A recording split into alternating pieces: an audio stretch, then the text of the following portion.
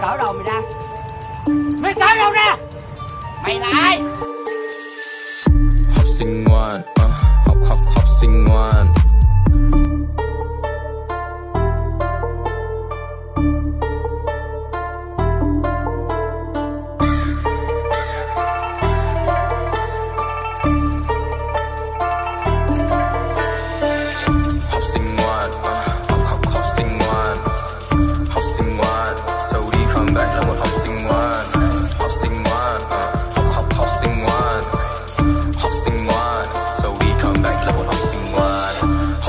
Ngoan part 2 học sinh ngoan, bây giờ đây đã khác xưa. Học sinh ngoan, chưa từng gây thất vọng, không biết nhắc tình và chơi với bagger cầm mai và bước lên sân khấu. Học sinh ngoan, hiên ngang được mời. Anh kết thúc 12 năm trường lớp. Học sinh ngoan để đến với trường đời. Học sinh ngoan mà chưa từng mất chất.